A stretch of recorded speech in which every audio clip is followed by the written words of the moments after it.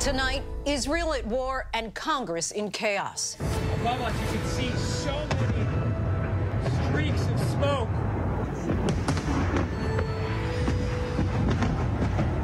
Oh, oh my God!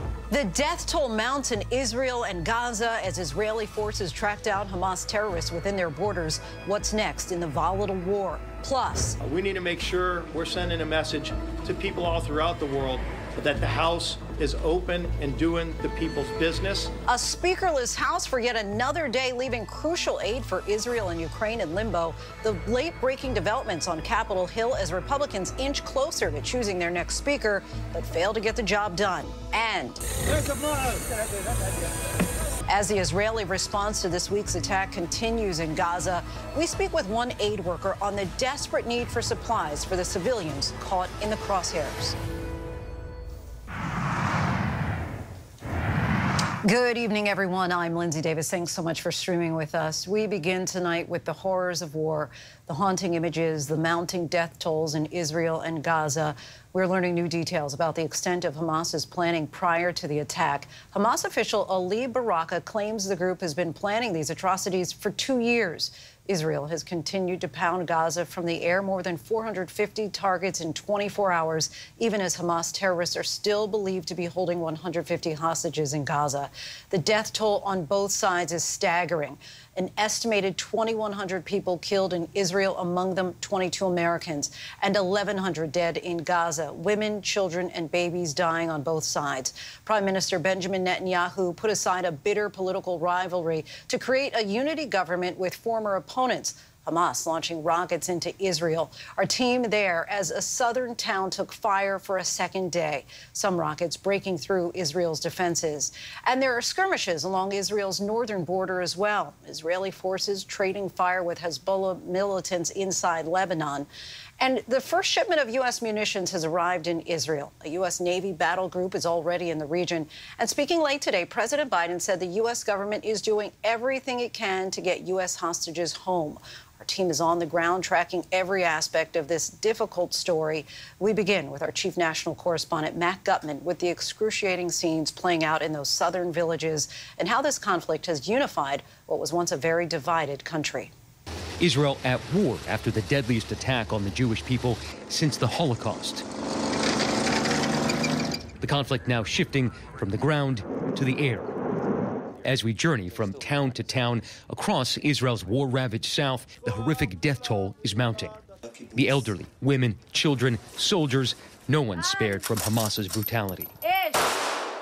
And as hundreds of thousands of Israelis get called up to fight, for these southern Israeli towns and villages, the sheer terror of war is everywhere. Our team was caught in the middle in Ashkelon, just a few miles north of Gaza. Above us, you can see so many streaks of smoke crisscrossing the sky. Now the sirens.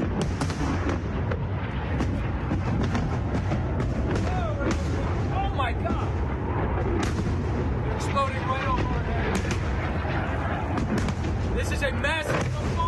over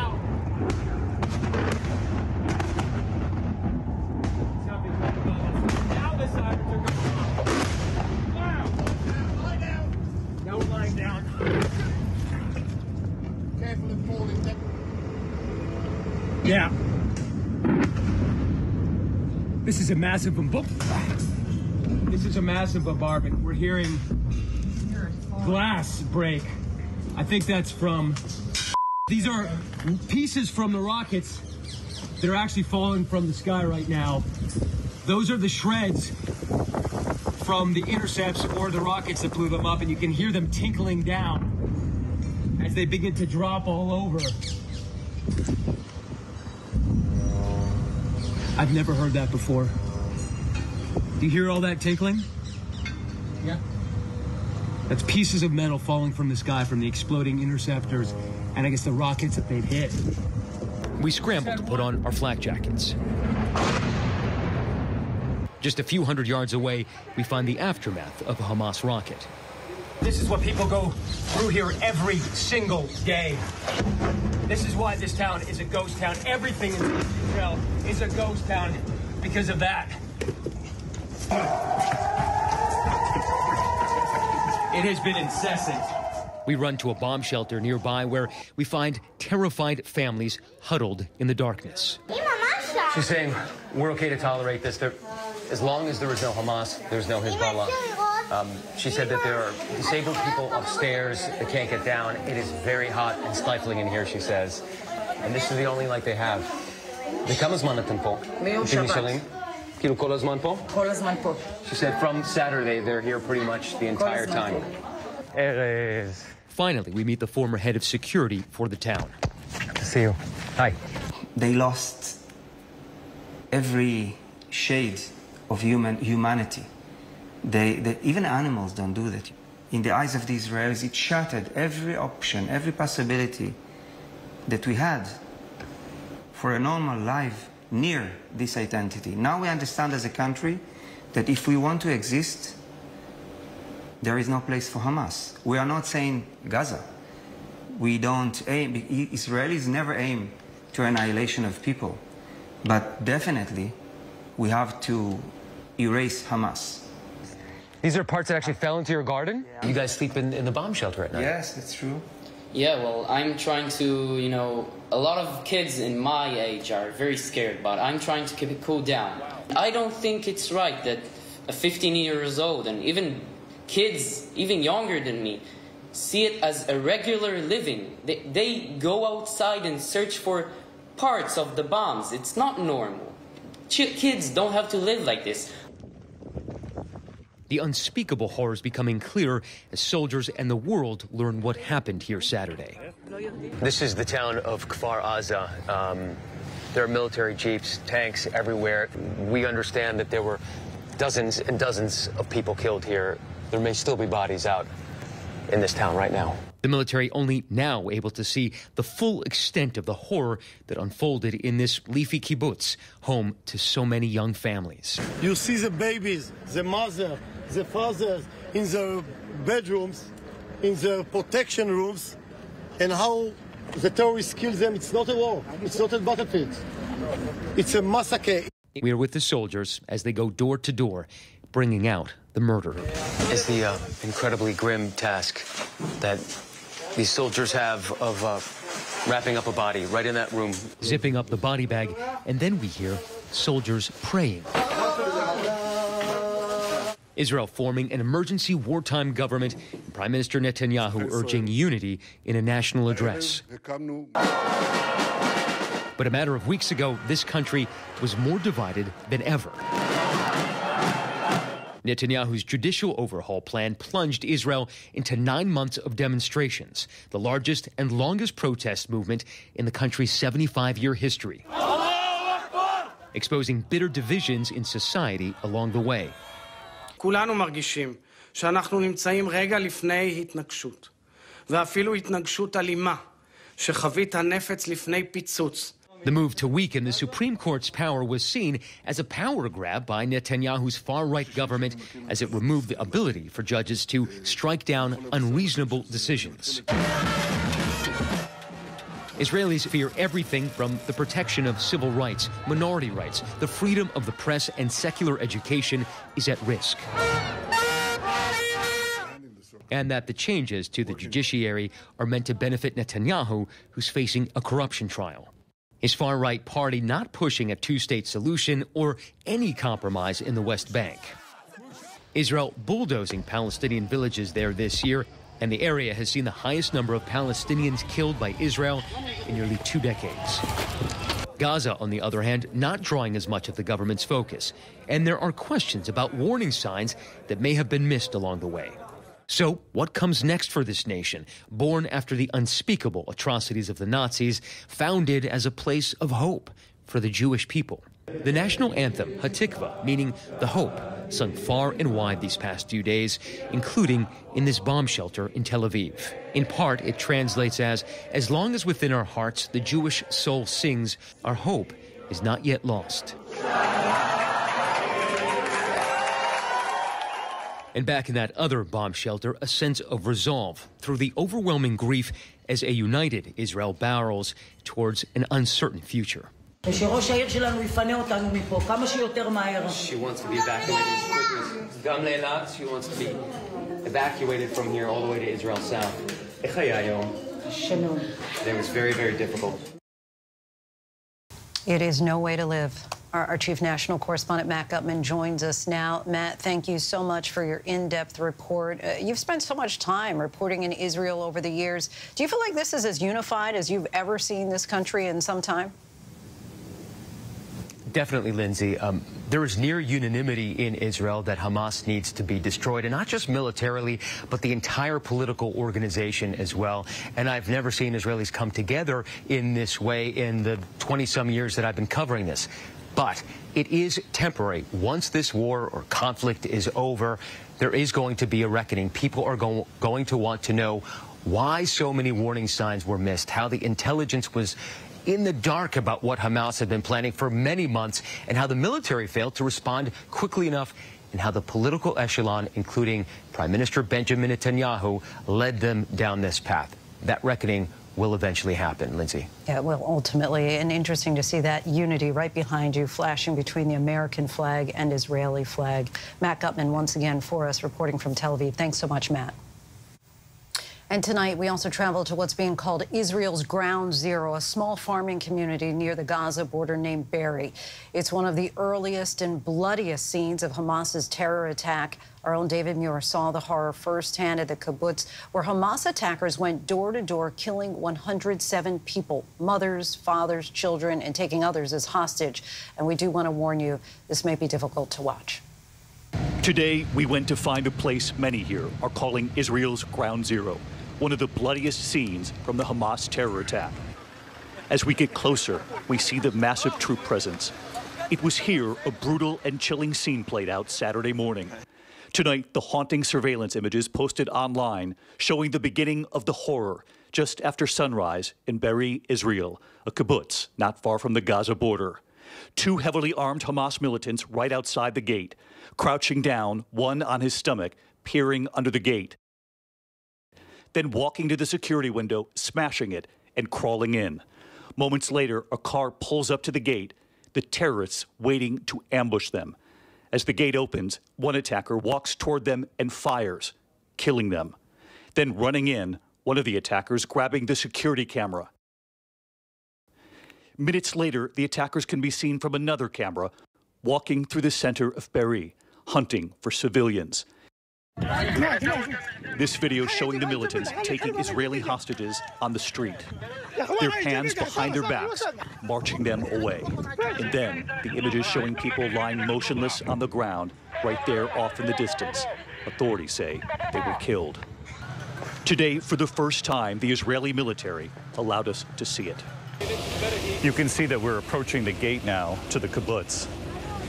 This is what you actually saw in that surveillance of the Hamas militants waiting just outside the gate, uh, simply waiting for it to open so they could sweep in and begin their killing. Immediately, we see the shattered security window where they waited to attack.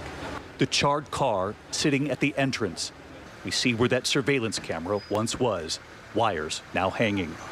And it was not long before we witnessed something else. The scope of the brutality here. There are no words to describe it.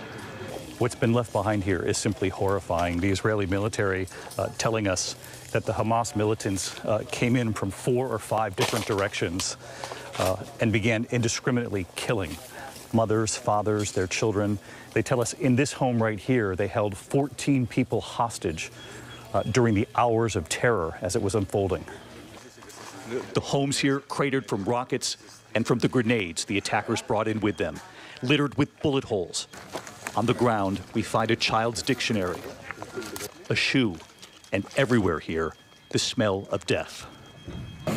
What did these militants do when they got to this kibbutz? They massacred everybody here.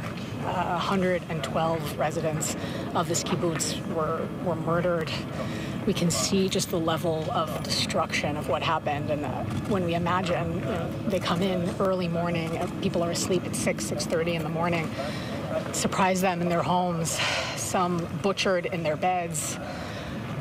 It, it's horrific. They killed more than 100 people here, and they took captives too. You're all convinced that members of this community, some of them were taken captive and dragged into Gaza? Correct. Correct. Um, we can't imagine what is going on with them right now. Here in this community, Orthodox religious volunteers have been recovering the bodies here. But we also notice what's been left behind. Everywhere you look here, you see the signs of brutality, what was done to the families here in those early morning hours. And then you come upon this, uh, wrapped in plastic here, another body. Uh, this one, though, is different. You can see in red here, they have written simply terrorist. They were ruthless. Even the children, they did not spare. And everywhere here, the signs of a morning cut short. It is heartbreaking to see uh, what's been left behind here. These are uh, family photos and a wedding photo here, uh, a photo of, of, a father with his child. Uh, but perhaps what hits the most are these backpacks, uh, the children's school bags, left right here in the open. The scope of the brutality here, uh, there are almost no words for this. It's no words for this, you know. It's something between ISIS and a pogrom. It's not a battlefield, it's not a war, it's a murder.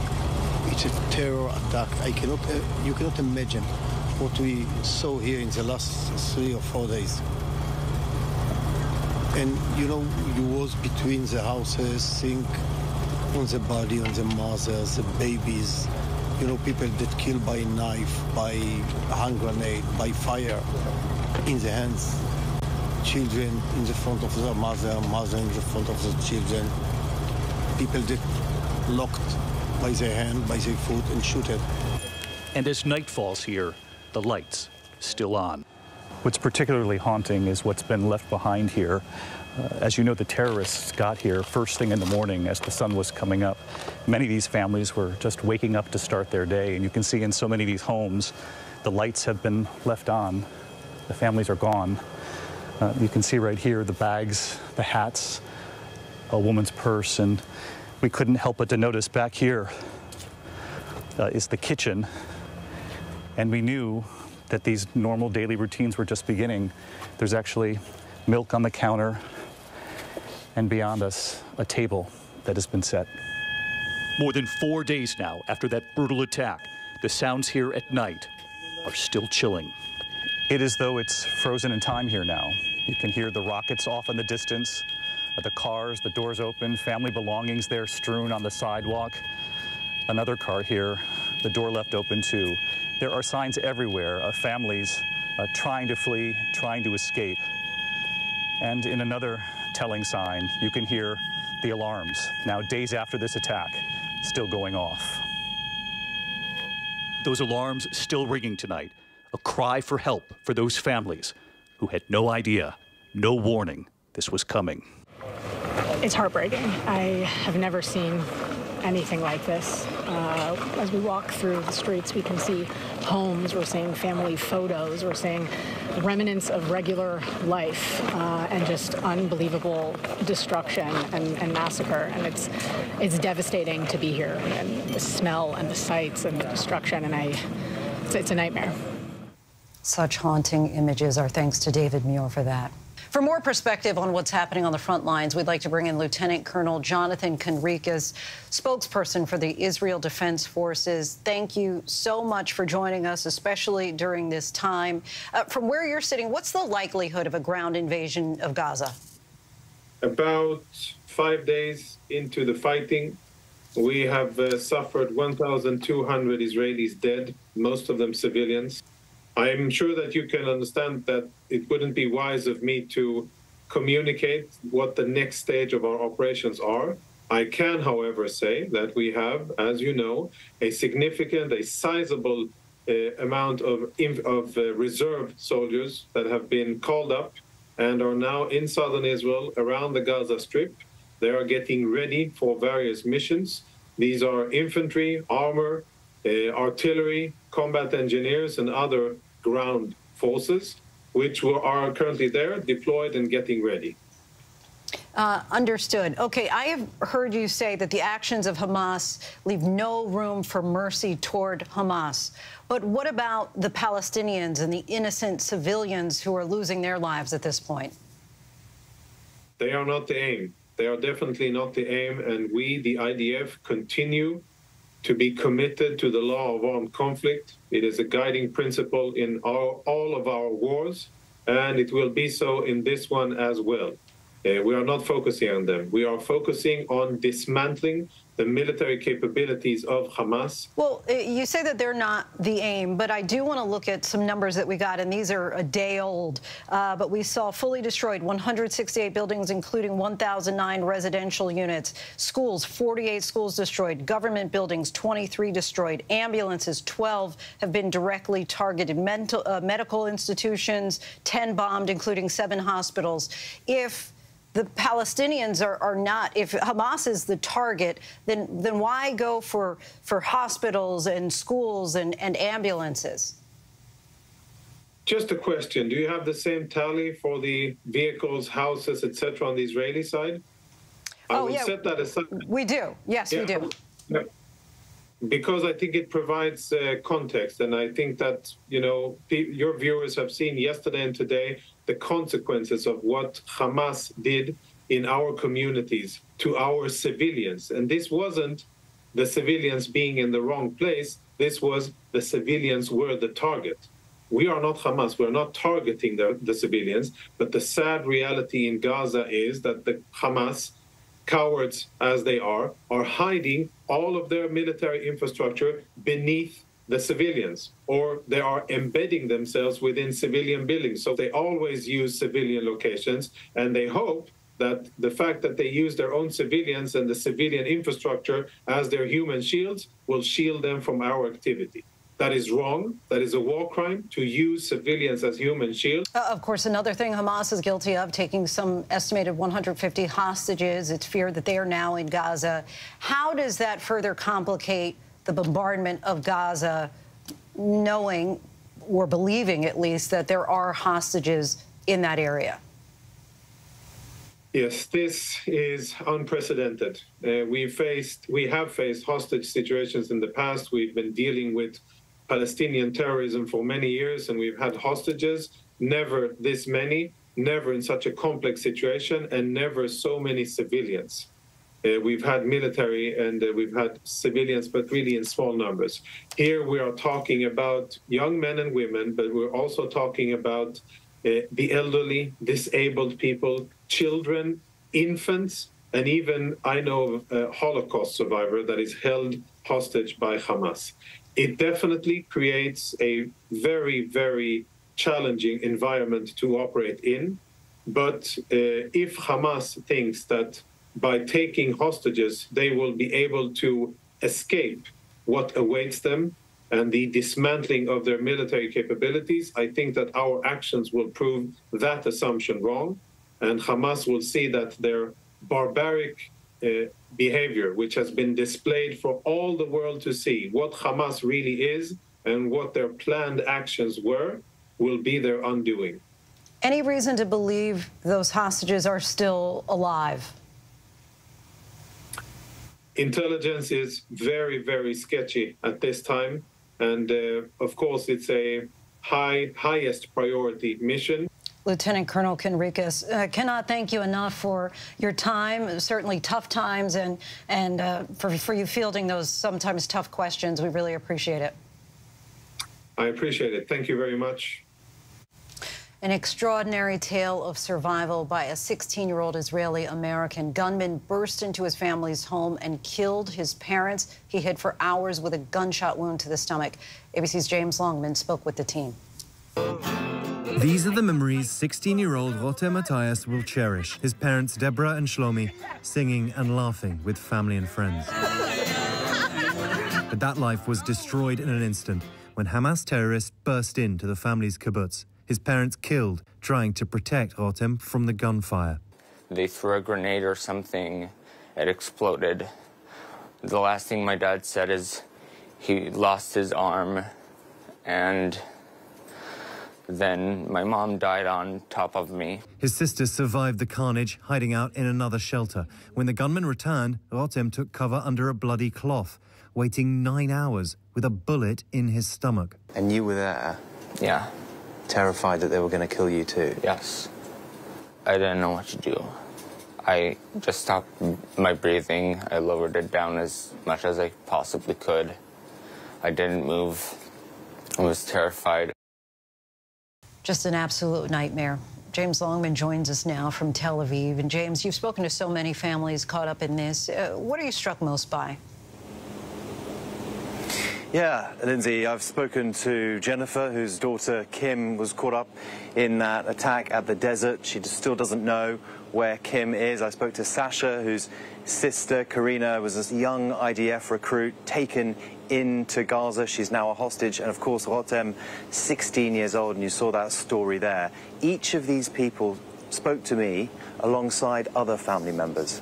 And that's what I'm really struck by when I meet these people. They are devastated, they're cut through with pain, but they're supported by the people around them in such an extraordinary way. And that is really very, very moving to be in a room with people who are grieving in this way, but also supported in this way. This country is small. Everyone is touched by this. Everyone knows someone who knows someone who was caught up in this deadly attack. And yes, it's horrifying, but there's something really beautiful about the way this country has come together. Lindsay? We thank you so much and really appreciate your, your observations and your reporting, James. Thank you. In the wake of all of this death and destruction, many people are still asking how could Israel have missed this? Let's bring in our chief global affairs anchor, Martha Raddatz. Uh, Martha, as Israel investigates this, what are your sources saying about a possible missed warning from Egypt ahead of this attack? Lindsay, a senior U.S. official telling me that they are looking into whether Egypt warned the Israelis of the possibility of an attack days before it happened, something the chairman of the House Foreign Affairs Committee also said today. The White House deflected the question, and Israel's prime minister denied there had been a warning, but it will no doubt be part of an investigation. Lindsay? certainly will. All right, Martha Raddatz for us in Washington, D.C. Thanks so much, Martha.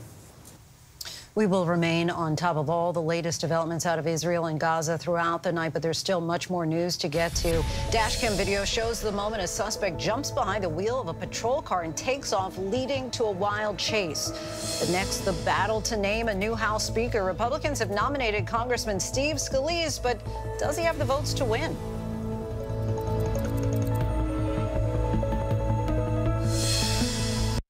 Whenever news breaks, the crush of families here in Poland. Here in Kentucky, no match for the tornado. From Monterey Park, California, on the ground in Ukraine. Reporting from Uvalde, Texas. ABC News Live is right there everywhere. From the scene of that deadly missile strike in Dnipro, Ukraine. Reporting from the earthquake in Turkey. From Charleston, From Kathmandu, Nepal. In Truckee, California, covering record snowfall. Traveling with the president in Mexico City. Wherever the story. Here at this airport in Tampa, it's already shut down. Reporting from the nurses on the picket line. Reporting from Jerusalem. Here at 10 Downing Street in London. Streaming live to you. Wherever the story is. Wherever the story is. Wherever the story is. We're going to take you there. You're streaming ABC News Live. ABC News Live. You're streaming ABC News Live. ABC News Live. Streaming free everywhere. America's number one streaming news. First thing in the morning. There's a lot going on. Everybody in that home is okay. To catch you up with what happened overnight. We are here at fashion's biggest night out. What's happening today? YouTube has unveiled a new set of policies. What people are talking about, the new ad campaign. Fast, straightforward. With some fun in between. A real life Barbie dream house. A name change for the Wienermobile. First thing in the morning. America This Morning. America's number one early morning news. On ABC News Live. All right, here we go. You ready? Let's do it. Yes, it's the show America wants and America needs right now. This is What Would You Do? Let's go. How are you? You. Yes. So what will you be watching Saturdays on ABC News Live? What would you do? Hey, I guess I just found out. the What Would You Do Marathon, 2 to 6 Eastern, every Saturday on ABC News Live. My favorite show. Welcome back, everyone. We turn now to the latest developments on Capitol Hill, where Republicans are moving forward on nominating a new Speaker of the House following the historic ousting of Speaker Kevin McCarthy last week.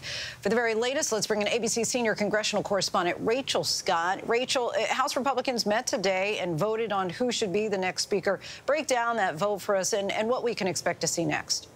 Yes, Lindsay. So all of this played out behind closed doors. Republicans met today for a few hours. They had an internal election, a secret ballot, and they had an option to choose between two Republicans, Congressman Steve Scalise and also Congressman Jim Jordan. Scalise earned the nomination to become the next Speaker of the House, but barely. And so right now, yes, he does have the nomination from the conference, but so far he does not have the votes to be the next Speaker of the House. He can only afford to lose four Republicans, and right now there are at least 10 who say they will not support him. This is going to be an uphill challenge for Scalise. So how long could this potentially take? What are your thoughts? Lindsay, this could take several rounds, so buckle up. A few different scenarios could play out. They either bring this to the floor and it takes several rounds until they get a Speaker of the House, or they could try to huddle behind closed doors once again to try to unite the party. Right now, the House has left for the day. Lawmakers are gone. We know Scalise is meeting with members one-on-one, -on -one, trying to convince the holdouts to come on board. But you have to remember it was the promises that McCarthy made that got him in trouble and ultimately cost him that job. Lindsay. That's right. The devil's in the details. Rachel Scott from Capitol Hill for us. Thanks so much, Rachel. We're joined now by Republican Congressman Tim Burchett of Tennessee, who was one of the eight Republicans who voted to oust former Speaker McCarthy last week. Thank you so much, Congressman, for joining us. Uh, the majority of Republicans backed Congressman Steve Scalise today for the Speaker nomination. This was, of course, secret ballot. Uh, so I have to ask, did he have your vote? Yes, ma'am. Steve will have my vote on the floor, and I've uh, firmly committed to him, and I'm I'm pretty sure that we'll have a um, that we'll have enough votes to carry him over the finish line tomorrow, ma'am. And why the delay? Why not take this to vote on the floor today? Well, there's a logistics problem. We actually have members. Um, we have one member I've talked, I was texted with this morning that's actually in Jerusalem or in Israel, excuse me. And we have members that are scattered. Democrat members are scattered out all over the country because there was really we weren't sure when this would come about. Um, I, of course, had hoped that it would happen today, but due to logistics, that just doesn't seem possible. But there appear to be some holdouts still who say that they, they still back Jim Jordan. Are you confident that Congressman Scalise can get the 217 votes he needs in order to win the Speaker's gavel? Yes, ma'am. Uh, it's been quoted on numerous sources that, that Jim has come out and, and stated his, his support of Steve Scalise and that he would, in fact, um, make his nominating speech from the floor tomorrow. So I, I don't have, I, I, you know, people, you know, there, there's open wounds. People are a little sore over it, but I think they'll get to that point. And I think with Jim's support of those, uh, of Steve Scalise and his encouragement to those people that are holding out for his, for him, I think that we'll be okay. As far as those people who are potentially holding out for him, any idea if any of your colleagues may be trying to extract concessions in order to get their vote? And we saw that certainly with former Speaker McCarthy, but but that actually, in the long run, seemed to undermine his ability to hold on to the job. Yes, ma'am. Those are some real changes, and you know, you always see somebody holding out for something. I that's human nature. I want on this committee. I'd like to have this bill heard, but I I think mostly it's just people need to hear from from Steve, and I suspect he, if I know Steve, and I do know Steve, he is burning up the phone lines as we speak. Any concern that a prolonged speaker's battle could impact the House's ability to support Israel following the outbreak of fighting there? No, ma'am. The president has actually unleashed the largest carrier, I believe, that there is in the world, the Gerald R. Ford, and there's talk of another one and also, um, Israel has basically on auto check from the United States about $3.4 billion, which, you know, helps supply Iron Dome. And they have, um, have very large quantities of armaments that we've helped supply. And I believe they're in good shape. Honestly, ma'am, all that Congress could do, there might be some supplemental funding, but the president is has done that as he did with Ukraine. You said that you voted against McCarthy in part because of broken promises over controlling spending. As you know, we'll be heading to another battle over funding the government next month. Could a potential government shutdown be back on the table? I think it could, but I think I think we're going to get together and work something out. And you know, we're required to do one thing up here, honestly, by law, and that, that is by law, is to pass a budget and 12 appropriations bills and we continuous we continually do these continued resolutions 30 days. They back them up against a holiday, and then we pass what's called an omnibus, and then we pass a 2,000-page bill where congressmen just read down to what's in their district or what lobbyists they need degrees or what special interests they need degrees, and then and then they vote for it. That's why we're 33 trillion dollars in debt. It needs to quit. It needs to quit now. Well, in fairness, though, the prior administration, Trump's administration, did uh, contribute quite a bit to to that spending. Yes, ma'am, and I did not vote for those budgets as well. Um, if you want to check my record on that, because I'm I'm pretty consistent on that type of thing, um, on the spending levels and things like that. We just, I mean, honestly, man, we take in five trillion and we spend seven trillion. And they said over a course of 20 years, the two things that that bothered them was our leadership and our and our fiscal responsibility, and we failed drastically in both those, and that goes across both parties.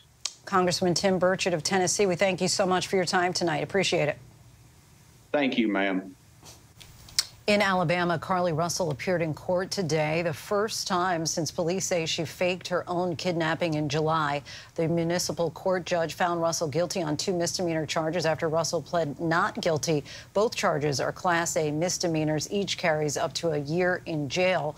Because the case involves possible jail time, it's now being moved to circuit court where a judge will determine if Russell is guilty or not. The Federal Trade Commission has proposed a new rule to ban junk fees. The proposed rule would apply to several industries across the economy, including hotels, apartment rentals, and even tic event tickets. The rule would eliminate hidden costs that increase prices at checkout. The FTC says this could save consumers quote, tens of billions of dollars in fees. Companies that continue to charge these fees could be fined and forced to pay the amount charged back to the consumer. Olympian champion Mary Lou Retton, who became a sports icon back in 1984 when she won gold in gymnastics, was recently hospitalized battling a rare form of pneumonia. The 55 year old mother of four has been in the intensive care unit for more than a week now. One of her daughters started a fundraising page for her mom, who she says is not insured. The page has exceeded its original goal of $50,000, raising more than a quarter of a million dollars. Retton is still in the ICU, unable to breathe on her own, according to her daughter, McKenna Kelley. And we still have much more to get to tonight on Prime. An ex-NFL player is facing charges of first-degree murder. The close relative police say he killed before then going on the run to Mexico. And we return to the major developing story, Israel at war, the history behind the conflict. A look at what led to this war between Israel and Hamas and failed attempts to stop escalations. But next, could that conflict in the Middle East put gas prices back on the rise? We take a look by the numbers.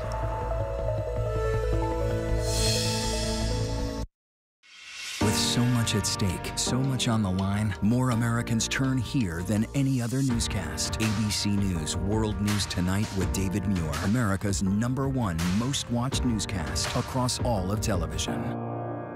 This is ABC News Live. The crush of families here in Poland. At refugee centers in Putin's Russia. On the ground in Ukraine. Close to the front line. From the capital. Destructive Cat 4 storm. You're along I-5. Boston is in the bullseye. Let's go. ABC News Live, America's number one streaming news. Anytime, anywhere. Streaming 24-7, straight to you for free. Thank you for making ABC News Live America's number one streaming news. From America's number one news comes the all new ABC News app. Breaking news, incredible video, faster, smarter, and customizable to your interests. If you love being in the know, you're going to love this. Experience the all new ABC News app. Download it now. All right, here we go. You ready?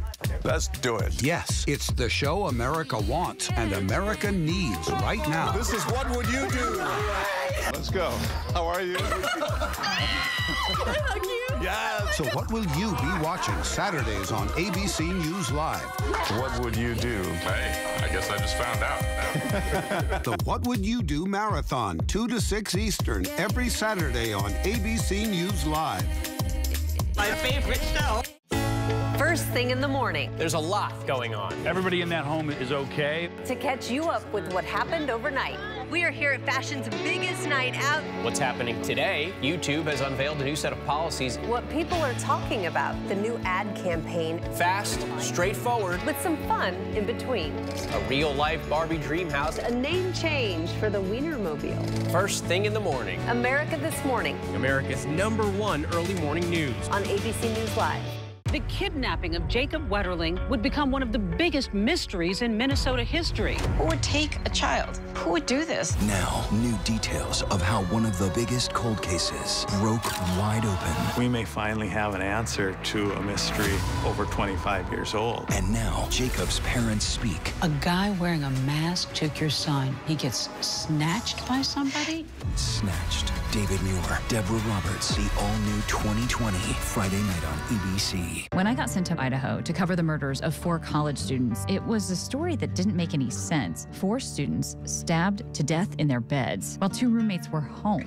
You got to think to yourself, okay, who's the target and how many people would a man go through to get to his target? I'm Kayna Whitworth with ABC News. This is the story of savage murders, a determined small town police force, and a scholar of crime. This is the King Road Killings. The full series is out now. Listen to every episode wherever you get your podcasts. We are here in Israel, a nation at war, the worst attack in 50 years. We've seen tank after tank pouring into this area. Bullet holes all up the wall. Within minutes, the air raid sirens going off. You can hear the sound of an explosion. We are pinned down here. Tonight, Israel waging a fierce bombardment of Gaza. Israel at war. For nonstop live coverage, stream ABC News Live. Reporting from southern Israel. Reporting from the front lines. Wherever the story is, we'll take you there. ABC News Live. Reporting from the earthquake in Turkey, I'm David Muir. Wherever the story, we'll take you there. You're streaming ABC News Live. Welcome back, everyone. Your wallet may be feeling the relief as gas prices have fallen in recent weeks, but could the conflict in the Middle East cause them to spike again? Let's take a look by the numbers. The national average for a regular gallon of gas is down to $3.66, according to AAA. That comes after prices rose to $3.88 a gallon last month. The drop has been driven in part by the falling cost of crude oil, which spiked to $94 a barrel in September, but has since fallen to a low of $82 a barrel last week week, down some 13%. Demand has also fallen with the end of the summer driving season, helping to drive prices lower. But oil spiked back up to nearly $90 a barrel on Monday following the outbreak of violence in Israel, which sparked concerns about wider fighting in the Middle East that could create instability in the oil market. But news today the top OPEC producer, Saudi Arabia, pledged to help stabilize the market, brought crude oil back to around $83 a barrel. And experts say gas prices would likely only be impacted if we see a worst case scenario of the conflict spilling outside of Israel. If the conflict stays contained, the prices of the pump could actually stay on their downward slide. One expert from GasBuddy says prices could fall another 50 cents a gallon by the end of October. And AAA forecasts that some states could see gas fall below $3 a gallon in the coming weeks. A welcome Halloween treat for millions of Americans. And we still have much more ahead here on Prime tonight. New York Republicans take a big step regarding the future of Congressman George Santos, how it could impact his term as he faces charges. And the new revelations from Jada Pinkett Smith on her marriage, including how long she and husband Will Smith have been separated. What does it take to be America's number one news? It takes asking the straightforward, tough questions. Do you believe that Donald Trump should ever be president again? How would your mom feel about your relationship with your brother now? I can't imagine what it feels like to go from $20 billion to $100,000. Yeah. Are you worried about going to jail? You write that you had low-grade depression. Mm -hmm. How'd you get out of that? The news-making interviews. You said there were six friends. One of them was sick. Yeah. Do you have future political aspirations? Going to the front line. The search for survivors. How does this war end? And getting to the heart of the story. Thank you for being here. We'll be here for the long run. ABC News, number one in the morning, the number one newscast, number one in daytime talk, Friday nights, Sunday mornings versus the competition, and the number one streaming news. Thank you for making ABC News America's trusted, straightforward first choice. First thing in the morning. There's a lot going on. Everybody in that home is okay. To catch you up with what happened overnight. We are here at fashion's biggest night out. What's happening today? YouTube has unveiled a new set of policies. What people are talking about, the new ad campaign. Fast, straightforward. With some fun in between.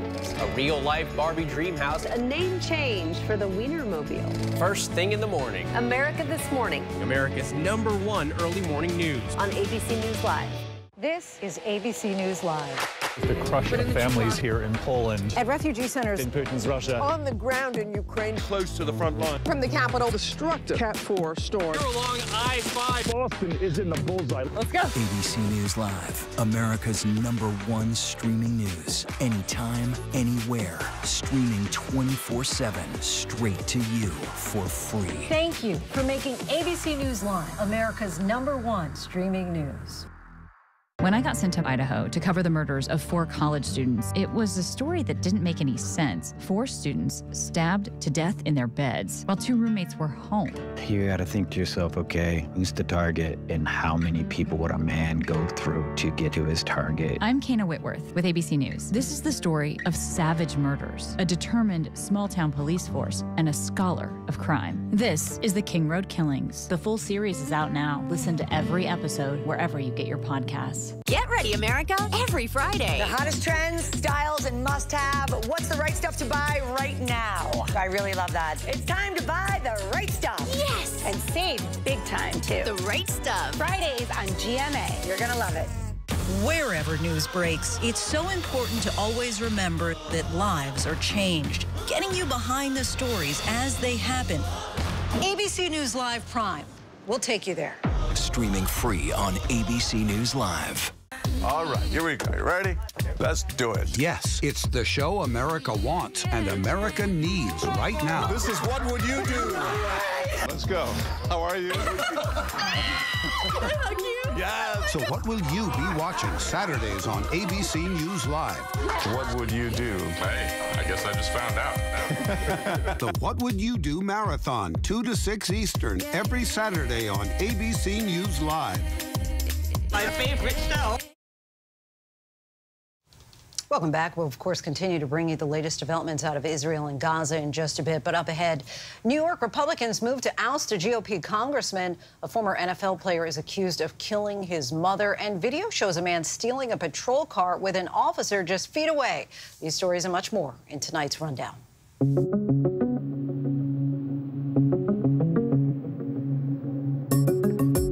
In the wake of a new round of charges against him, embattled New York Congressman George Santos is vowing to fight until the bitter end. The new charges against Santos include identity theft. Yesterday, prosecutors claimed he stole credit card information from campaign donors and made unauthorized charges. Santos insists he will not take a plea deal. Meanwhile, Long Island congressional Republicans are renewing calls for Santos to be expelled from the House.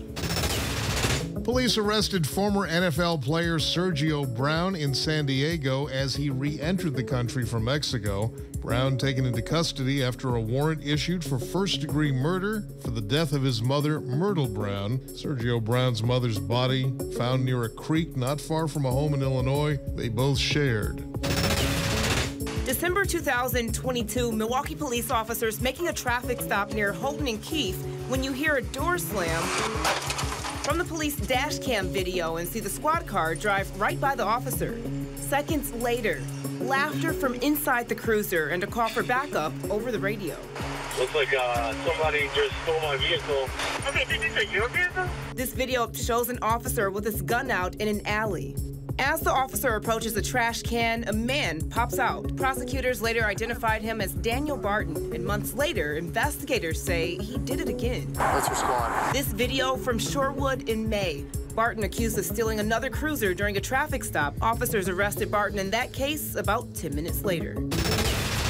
And high school students still seeing their test scores slide. Results on the ACT college admissions test now coming in at their lowest level in more than 30 years. The average ACT composite score last year was 19.8 out of 36. We will soon learn more about the horrifying attack on author Salman Rushdie from the author himself. His memoir, Knife Meditations After an Attempted Murder, will be published in April. He was left blind in his right eye and a damaged left hand following that attack in August of 2022. Rushdie was stabbed repeatedly in the neck and the stomach by a man who rushed the stage as the author was about to give a lecture in Western New York. The alleged attacker has pleaded not guilty. Jada Pinkett Smith revealing surprising news about her marriage to Will Smith. They've been separated for years. In a new People magazine interview, Pinkett Smith said she and her husband had been separated for six years at the time of that infamous 2022 Academy Awards slap. The actress says they have a deep love for one another and are working on their relationship. That revelation comes ahead of the release of her upcoming memoir, Worthy, on October 17th. Israeli forces have unleashed a relentless barrage of missiles inside Gaza as leadership promises to do whatever it takes to obliterate Hamas from the territory. Gaza is just 75 years old, established from the ashes of the Second World War, but it lies in the cross section of ancient history and three major religions. In 1948, the Nakba, or the catastrophe happened for the Palestinian people, hundreds of thousands were forced from or fled their homeland. Our chief foreign correspondent Ian Pannell explains. A warning that Gaza's about to run out of fuel in a matter of hours, leaving millions without electricity and under total siege. Israel's bombardment continuing amid rising fears of a land invasion. The Israeli military sharing these videos, striking what they say are Hamas targets. Reportedly attacking and destroying the home of the brother of Hamas military commander Mohammed Deif, killing his brother and his children and granddaughter, but Israel not confirming or denying. Over 1,000 killed in Gaza since Saturday's bloody attack by Hamas in Israel, more than 5,000 injured. And on the ground, our team witnessing Israel's retaliation firsthand. Residents like Abu Rafiq stunned. Telling us this was total destruction with no house left standing. There's been no announcement yet of a ground invasion, but all the building blocks for a land movement are being put into place. If anyone was in any doubt about what Israel's intentions are, it should be dispelled now. We're seeing tank after tank, armoured vehicle after armoured vehicle, and more and more soldiers pouring into this area. Tala Imad Hertzala, a 21-year-old student at the Islamic University of Gaza, is sheltering inside her family home. There's no electricity. Uh, there's no food supply. There's no water. Gaza's under complete siege. Food, electricity, water all cut off, with many desperate to get out of one of the world's most densely populated areas amid fears of a land invasion. One American citizen in Gaza trying to leave with her three children, telling us she feels abandoned by the U.S. Embassy. They say we're gonna get you, but they don't. We don't hear anything uh, from them, and it's very terrifying because we all wanna go get out of here. The US says talks between Israel and Egypt about creating safe passage for some residents to leave are taking place, but the last remaining crossing out of Gaza was bombed by Israel yesterday.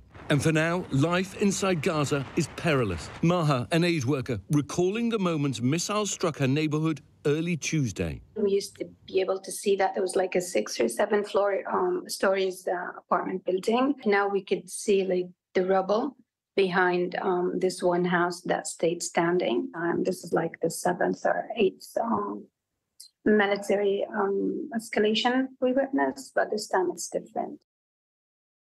Really great explanation there. Are thanks to Ian for that. As this conflict continues, there will be a great need, of course, for humanitarian aid, and some workers are already on the ground doing just that. On the phone with us now is Yusuf Hammash, an advocacy officer for the Norwegian Refugee Council, who's in Gaza. Uh, Yusuf, thank you so much for joining us on the phone. Uh, you've described the scene there by saying it feels like the world is collapsing. Just give us a sense of, of what you're seeing that, that makes you describe it that way.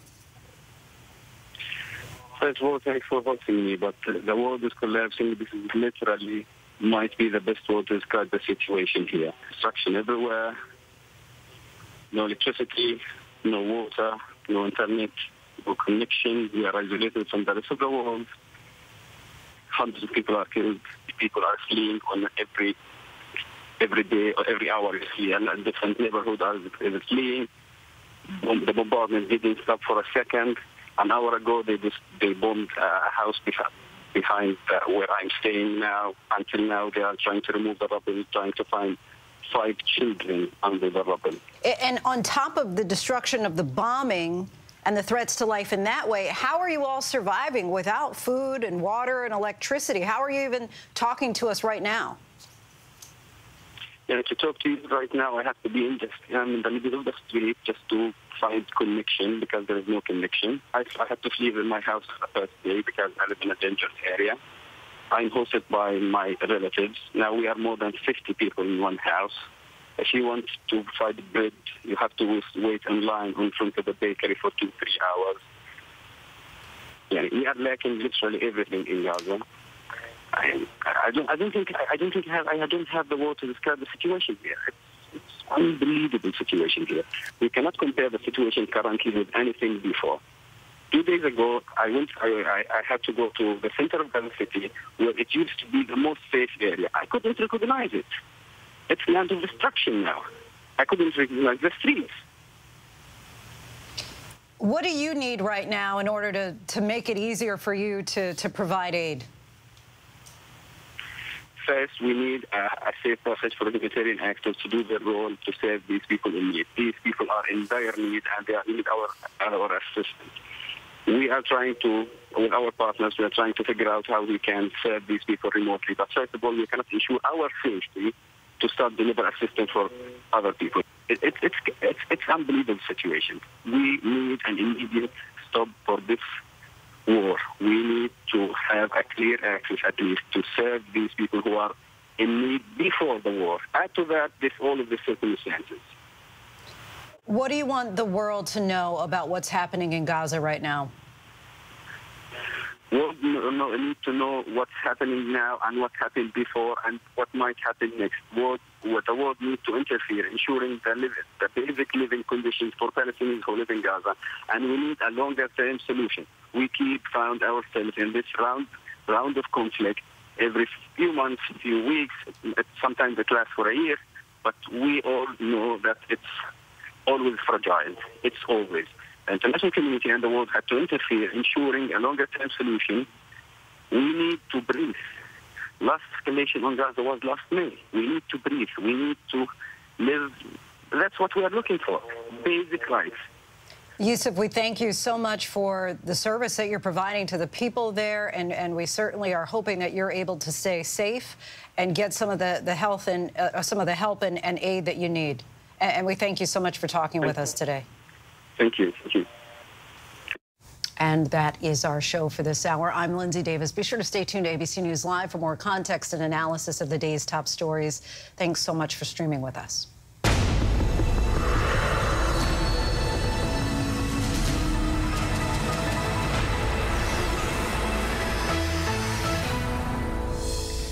The next hour, our team coverage continues as the death toll rises in both Israel and Gaza, the tactics now being used by Israeli forces. And another earthquake in Afghanistan, the damage left behind just days after an earlier one killed more than 2,000 people. Wherever news breaks, it's so important to always remember that lives are changed. Getting you behind the stories as they happen. ABC News Live Prime. We'll take you there. Streaming free on ABC News Live. From America's number one news comes the all new ABC News app. Breaking news, incredible video, faster, smarter, and customizable to your interests. If you love being in the know, you're going to love this. Experience the all new ABC News app. Download it now. It's lunchtime in America, so what are we serving up? Well, how about everything you need to know? You know, that sounds pretty good. Give it to me. Your health, your money, breaking news, pop culture, with the biggest stars, music, trends, and of course, good food. GMA 3, what you need to know. A third hour of GMA in the afternoon. So join us, afternoons. For everything you need to know. I love Give that. This is ABC News Live. The crush of families here in Poland. At refugee centers. In Putin's Russia. On the ground in Ukraine. Close to the front line. From the capital. Destructive Cat 4 storm. Here along I-5. Boston is in the bullseye. Let's go. ABC News Live. America's number one streaming news. Anytime, anywhere. Streaming 24-7. Straight to you for free. Thank you for making ABC News Live America's number one streaming news. The kidnapping of Jacob Wetterling would become one of the biggest mysteries in Minnesota history. Who would take a child? Who would do this? Now, new details of how one of the biggest cold cases broke wide open. We may finally have an answer to a mystery over 25 years old. And now, Jacob's parents speak. A guy wearing a mask took your son. He gets snatched by somebody? Snatched. David Muir, Deborah Roberts, the all new 2020, Friday night on ABC. All right, here we go. You ready? Let's do it. Yes, it's the show America wants and America needs right now. This is What Would You Do? Let's go. How are you? Yes. So what will you be watching Saturdays on ABC News Live? What would you do? Hey, I guess I just found out. the What Would You Do Marathon, 2 to 6 Eastern, every Saturday on ABC News Live. My favorite show. When I got sent to Idaho to cover the murders of four college students, it was a story that didn't make any sense. Four students stabbed to death in their beds while two roommates were home. You got to think to yourself, okay, who's the target and how many people would a man go through to get to his target? I'm Kayna Whitworth with ABC News. This is the story of savage murders, a determined small town police force, and a scholar of crime. This is the King Road Killings. The full series is out now. Listen to every episode wherever you get your podcasts. Reporting from Monterey Park, California, I'm Robin Roberts. Wherever, wherever the story is, we're going to take you there. You're streaming ABC News live. Good evening, everyone. I'm Linsey Davis. Thanks so much for streaming with us. We begin tonight with the horrors of war, the haunting images, the mounting death tolls in Israel and Gaza. We're learning new details about the extent of Hamas's planning prior to the attack. Hamas official Ali Baraka claims the group has been planning these atrocities for two years. Israel has continued to pound Gaza from the air, more than 450 targets in 24 hours, even as Hamas terrorists are still believed to be holding 150 hostages in Gaza. The death toll on both sides just staggering. An estimated 1,200 people killed in Israel, among them 22 Americans, and 1,100 dead in Gaza. Women, children, and babies dying on both sides. Prime Minister Benjamin Netanyahu put aside a bitter political rivalry to create a unity government with former opponents. Hamas continuing to launch rockets into Israel. Our team was there as a southern town defenses. And the first shipment of U.S. munitions has arrived in Israel. A U.S. Navy battle group is already in the region.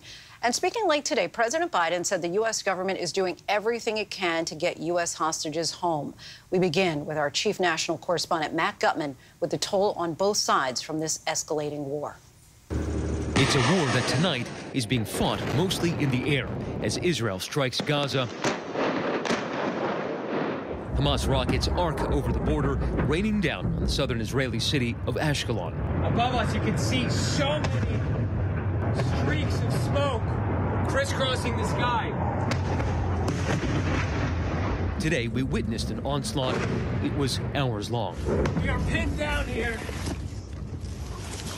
under this aerial bombardment. This is what people go through here every single day.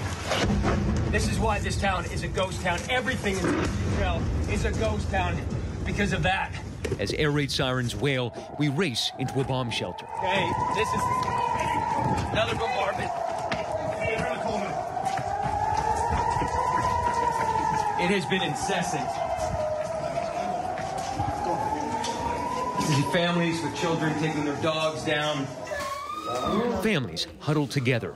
Ruti with her two daughters, Aviva and Orhava.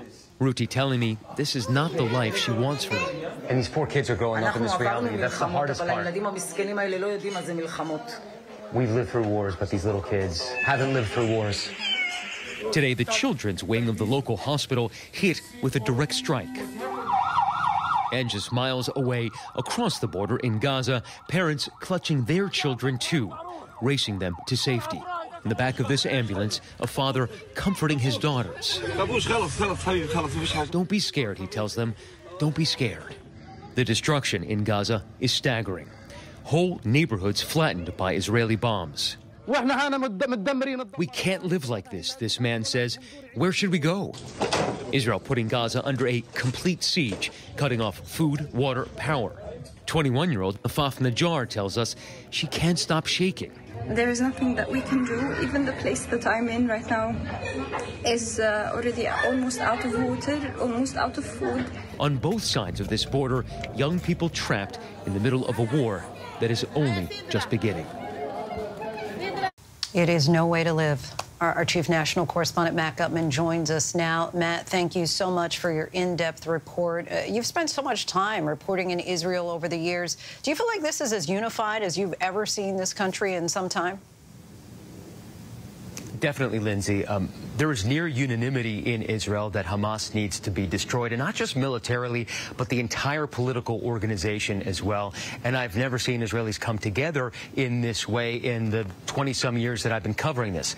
But it is temporary. Once this war or conflict is over, there is going to be a reckoning. People are go going to want to know why so many warning signs were missed, how the intelligence was in the dark about what Hamas had been planning for many months and how the military failed to respond quickly enough and how the political echelon, including Prime Minister Benjamin Netanyahu, led them down this path. That reckoning will eventually happen, Linsey. Yeah, it will ultimately. And interesting to see that unity right behind you flashing between the American flag and Israeli flag.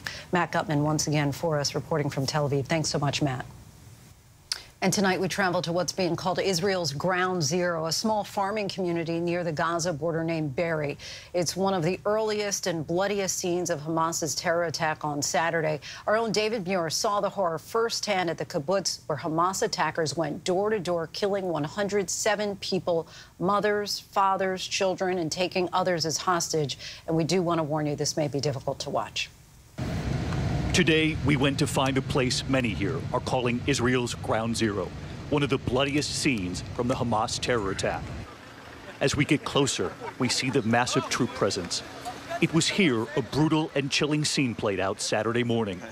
Tonight, the haunting surveillance images posted online showing the beginning of the horror just after sunrise in Be'eri, Israel, a kibbutz not far from the Gaza border. Two heavily armed Hamas militants right outside the gate, crouching down, one on his stomach, peering under the gate. Then walking to the security window, smashing it, and crawling in. Moments later, a car pulls up to the gate, the terrorists waiting to ambush them. As the gate opens, one attacker walks toward them and fires, killing them. Then running in, one of the attackers grabbing the security camera.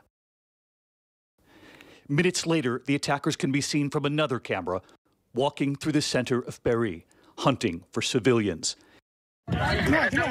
This video showing the militants taking Israeli hostages on the street, their hands behind their backs, marching them away. And then the images showing people lying motionless on the ground right there off in the distance. Authorities say they were killed. Today, for the first time, the Israeli military allowed us to see it. You can see that we're approaching the gate now to the kibbutz. This is what you actually saw in that surveillance of the Hamas militants waiting just outside the gate, uh, simply waiting for it to open so they could sweep in and begin their killing. Immediately, we see the shattered security window where they waited to attack. The charred car sitting at the entrance. We see where that surveillance camera once was, wires now hanging. And it was not long before we witnessed something else. The scope of the brutality here there are no words to describe it. What's been left behind here is simply horrifying. The Israeli military uh, telling us that the Hamas militants uh, came in from four or five different directions uh, and began indiscriminately killing mothers, fathers, their children.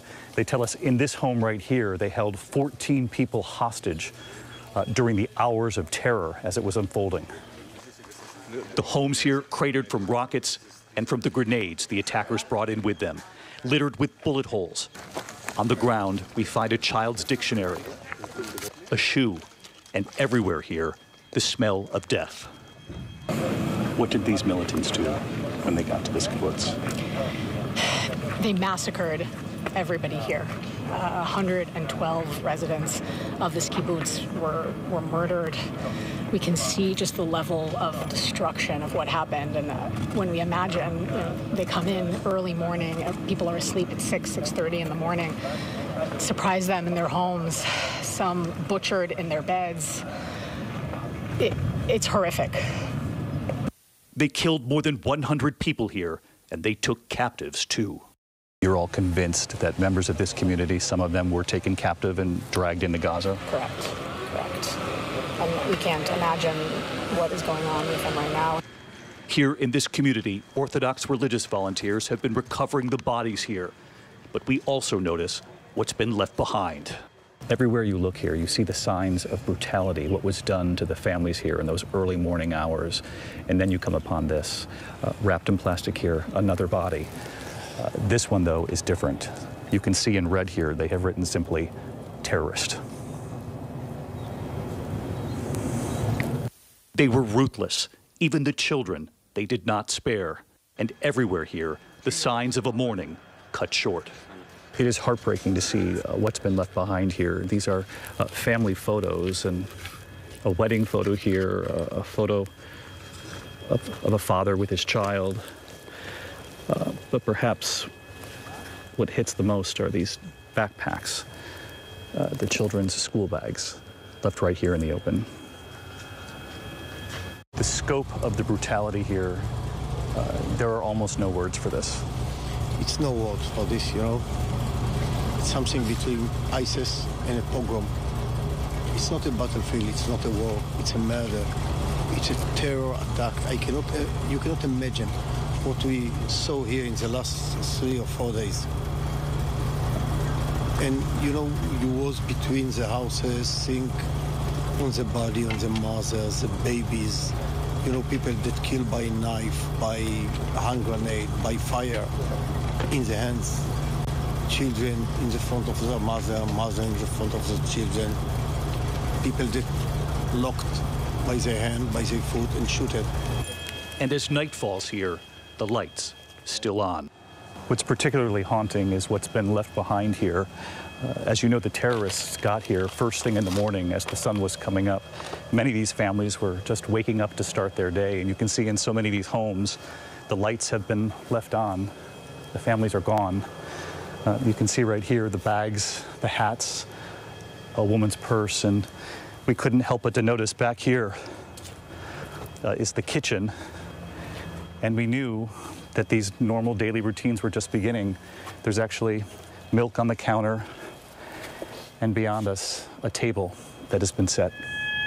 More than four days now after that brutal attack, the sounds here at night are still chilling. It is though it's frozen in time here now. You can hear the rockets off in the distance, uh, the cars, the doors open, family belongings there strewn on the sidewalk. Another car here, the door left open too. There are signs everywhere of families uh, trying to flee, trying to escape. And in another telling sign, you can hear the alarms, now days after this attack, still going off. Those alarms still ringing tonight, a cry for help for those families who had no idea, no warning this was coming. It's heartbreaking. I have never seen anything like this. Uh, as we walk through the streets, we can see homes, we're seeing family photos, we're seeing remnants of regular life uh, and just unbelievable destruction and, and, massacre. And it's, it's devastating to be here. And the smell and the sights and the destruction, and I, it's, it's a nightmare. So haunting. Our thanks to David Muir for that. An extraordinary tale of survival by a 16-year-old Israeli-American gunman burst into his family's home and killed his parents right before his eyes. He hid for hours with a gunshot wound to the stomach. ABC's James Longman spoke with the team. These are the memories 16-year-old Rotem Mathias will cherish. His parents, Deborah and Shlomi, singing and laughing with family and friends. But that life was destroyed in an instant when Hamas terrorists burst into the family's kibbutz. His parents killed, trying to protect Rotem from the gunfire. They threw a grenade or something, it exploded. The last thing my dad said is he lost his arm, and then my mom died on top of me. His sister survived the carnage, hiding out in another shelter. When the gunman returned, Rotem took cover under a bloody cloth waiting nine hours with a bullet in his stomach. And you were there? Yeah. Terrified that they were going to kill you too? Yes. I didn't know what to do. I just stopped my breathing. I lowered it down as much as I possibly could. I didn't move. I was terrified. Just an absolute nightmare. James Longman joins us now from Tel Aviv. And James, you've spoken to so many families caught up in this. Uh, what are you struck most by? Yeah, Linsey, I've spoken to Jennifer, whose daughter Kim was caught up in that attack at the desert. She still doesn't know where Kim is. I spoke to Sasha, whose sister Karina was a young IDF recruit taken into Gaza. She's now a hostage. And of course, Rotem, 16 years old, and you saw that story there. Each of these people spoke to me alongside other family members. And that's what I'm really struck by when I meet these people. They are devastated, they're cut through with pain, but they're supported by the people around them in such an extraordinary way. And that is really very, very moving to be in a room with people who are grieving in this way, but also supported in this way. This country is small. Everyone is touched by this. Everyone knows someone who knows someone who was caught up in this deadly attack. And yes, it's horrifying, but there's something really beautiful about the way this country has come together. Linsey? We thank you so much and really appreciate your, your observations and your reporting, James. Thank you. In the wake of all of this death and destruction, many people are still asking how could Israel have missed this? Let's bring in our chief global affairs anchor, Martha Raddatz. Uh, Martha, as Israel investigates this, what are your sources saying about a possible missed warning from Egypt ahead of this attack? Linsey, a senior U.S. official telling me that they are looking into whether Egypt warned the Israelis of the possibility of an attack days before it happened, something the chairman of the House Foreign Affairs Committee also said today. The White House deflected the question, and Israel's prime minister denied there had been a warning, but it will no doubt be part of an investigation. Linsey? Certainly will. All right, Martha Raddatz for us in Washington, D.C. Thanks so much, Martha. Still much more to get to. On a lighter note, you can't have Barbie without pink. Coming up, the movie's signature color is rooted in Mexican-American culture. We talked to the cinematographer who helped bring the bright shade to the global sensation. The next, guards taken hostage and fires burning as a prison riot unfolds. The criminals, experts say, are controlling things from the outside. Whenever news breaks, the crush of families here in Poland. Here in Kentucky, no match for the tornado. From Monterey Park, California, on the ground in Ukraine. Reporting from Uvalde, Texas. ABC News Live is right there everywhere. From the scene of that deadly missile strike in Dnipro, Ukraine. Reporting from the earthquake in Turkey. From Charleston, South Carolina, on the 2024 campaign trail. From Kathmandu, Nepal. In Truckee, California, covering record snowfall. Traveling with the president in Mexico City. Wherever the story. Here at this airport in Tampa, it's already shut down. Reporting from the nurses on the picket line. Reporting from Jerusalem. Here at 10 Downing Street in London. Streaming live to you. Wherever the story is. Wherever the story is. Wherever the story is. We're going to take you there. You're streaming ABC News Live. ABC News Live. You're streaming ABC News Live. ABC News Live. Streaming free everywhere. America's number one streaming news. We are here in Israel, a nation at war, the worst attack in 50 years. We've seen tank after tank pouring into this area. Bullet holes all up the wall. Within minutes, the air raid sirens going off. You can hear the sound of an explosion. We are pinned down here. Tonight, Israel waging a fierce bombardment of Gaza. Israel at war. For nonstop live coverage, stream ABC News Live. Reporting from southern Israel. Reporting from the front lines. Wherever the story is, we'll take you there. ABC News Live. All right, here we go. You ready? Let's do it. Yes, it's the show America wants and America needs right now. This is What Would You Do? Let's go. How are you? Yeah. So what will you be watching Saturdays on ABC News Live? What would you do? Hey, I guess I just found out. the What Would You Do Marathon, 2 to 6 Eastern, every Saturday on ABC News Live. My favorite show. I'm Whit Johnson, reporting from Maui. Wherever the story is, we'll take you there. You're streaming ABC News Live. Welcome back. We're tracking several headlines around the world. Dozens of people evacuated from their homes in Argentina's central Cordoba province as wildfires grew amid an intense heat wave there. Massive flames surrounded populated areas as firefighters worked to combat the flames. It was not immediately clear how many homes had been impacted by the fire. Local media has reported dozens have been evacuated. And another strong earthquake shook western Afghanistan this morning, just days after an earlier earthquake killed more than 2,000 people in one of the most destructive quakes in the country's recent history. According to officials, today's 6.3 earthquake killed at least one person and injured about 120 others. Inmates at Paraguay's largest prison rioted, taking 11 guards hostage and setting fire to facilities in the crowded penitentiary in the outskirts of the capital. This prison had nearly 4,000 inmates in a ramshackle tin roof building. And according to local security experts, gangs exert near total influence over life inside.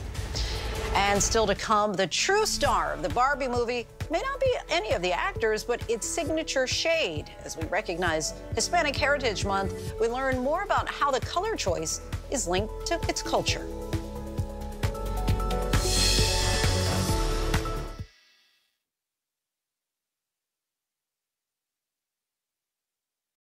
When I got sent to Idaho to cover the murders of four college students, it was a story that didn't make any sense. Four students stabbed to death in their beds while two roommates were home. You got to think to yourself, okay, who's the target and how many people would a man go through to get to his target? I'm Kayna Whitworth with ABC News. This is the story of savage murders, a determined small town police force, and a scholar of crime. This is the King Road Killings. The full series is out now. Listen to every episode wherever you get your podcasts. With so much at stake, so much on the line, more Americans turn here than any other newscast. ABC News World News Tonight with David Muir, America's number one most watched newscast across all of television. From America's number one news comes the all new ABC News app. Breaking news, incredible video, faster, smarter, and customizable to your interests. If you love being in the know, you're going to love this. Experience the all new ABC News app. Download it now. All right, here we go. You ready? Let's do it. Yes, it's the show America wants and America needs right now. This is What Would You Do? Let's go. How are you? Yeah. So what will you be watching Saturdays on ABC News Live? What would you do? Hey, I guess I just found out. the What Would You Do Marathon, 2 to 6 Eastern, every Saturday on ABC News Live. My favorite show. It's already raked in more than $1.3 billion. Talking about Barbie, it is topping charts as the biggest movie of the year. But the star that may have outshined Margot Robbie, Margot Robbie and Ryan Gosling was the color pink, more specifically Rosa Mexicano or Mexican pink. The film's Mexican cinematographer Rodrigo Prieto coats his latest work in culture, bringing La Alma de Mexico to the big screen. We sat down with him to learn more about how the artist pays tribute to his culture by giving Rosa Mexicano its flowers. Explain to us what Rosa Mexicano is, or, or Mexican pink. Well, it's uh, it's a color that uh, is very present in Mexico. Uh, since I've been a child, it's been just part of what you see all around you growing up in Mexico City. For the movie Barbie, pink was an important color in the movie, obviously. And when I was looking at all these pinks, I mentioned to Greta and to Sarah Greenwood, who's the production designer, you know, we should really include Mexican pink. And this is just because it's a color I feel close to, being part of my culture. And so then I showed them examples of this color, and they really were attracted to it. And it is a color that's been present in our culture from even the pre Hispanic times, but it never had a name. And it's basically the color of bugambilias. And there's an artist, um, Ramon Valdiosera, who decided to include this color in costumes that he was making. He had a show in New York, 1949 and uh, everybody was struck by this particular pink that he took from the bugambilias, from these flowers. And the journalists uh, remarking on this color said, oh, this we should call it Mexican pink. And then it stuck, the name stuck. And did you have any idea the role, the life that this color was going to take on in the movie? We certainly knew that pink was a theme. And we wanted all the different shades of pink to be very present without overwhelming. So it was a tricky technical thing, too. To be sure that these colors popped, we created a digital filter for post production that's based on Technicolor, which is a technique of, of creating color in the beginnings of uh, color cinema. Obviously, you've been making movies for decades now. This is not your first time bringing in a, a Mexican color. That is true. You know, uh, for me, color is very important just in general as a, as a means of, of expression. You know, color really uh, influences your perception as an audience of the scenes and what's going on. So I remember once I, uh, on this movie Eight Mile with Eminem in Detroit. You ever wonder at what point you gotta stop living up here and start living down here? First thing I did when I arrived in Detroit was to go to the Detroit Institute of the Arts, where Diego Rivera's murals are. And there was this color present in his paintings of the auto workers, the industry. And it was cyan, this sort of green, greenish cyan color. I incorporated that those colors into the movie. So indeed, uh, it's something that uh, that I try to bring, you know, and I think it's just natural that you bring your culture into into the art that you help create. Has it taken on a, a commercial uh, value for you, or is it still very cultural when you see that particular Mexican pink? Culture just uh, expands, you know, the specific culture of different people, different countries. And I think that I find that the opportunity to showcase something from my culture in the work that I do elsewhere that's not in Mexico is is a way of honoring my roots. One of your latest projects, you are partnering with Martin Scorsese again, uh, Killers of the Flower Moon. Can you find the wolves in this picture? It's uh, completely different to Barbie. Yes. So, was, uh, Not Rosa Mexicano pink. No Rosa Mexicano in that. Niukanska children of the Middle Waters. It's a very powerful movie about the Osage people, where there was basically a massacre of, of many people were killed. Uh, individual murders, actually, because the settlers were trying to get the oil money that the Osage in Oklahoma, they owned the, the subsoil. So it's a powerful but dark story. So the cinematography is completely different. Barbie is full of light and full of color, Killers of the Flower Moon has a completely different color, color palette. Lily Gladstone stars in this. Talk to us about the way that you're trying to uh, lift up and, and highlight uh, Indigenous women. Yes, that is a very important aspect of Killers of the Flower Moon, and uh, something that for me is dear because also in my my country in Mexico, you know, the indigenous people are also you know we're as a nation we're trying to recognize uh, you know the indigenous uh, population that for a long time has been marginalized. We talked with scorsese we talked to groups of osage and i remember specifically uh, the the chief uh, telling us uh, make sure to honor our women. So that that became certainly in the story itself and, and certainly the focus of the movie. Well, we thank you so much for that cultural impact that you're creating and continuing on. And, and thank you so much for your time and talking with us today, Rodrigo. Thank you very much. And that is our show for tonight. I'm Linsey Davis. ABC News Live is here for you all night with the latest news, context, and analysis. You can always find us on Hulu, Roku, the ABC News app, and of course on abcnews.com. The news never stops. Thanks so much for streaming with us. Have a great night.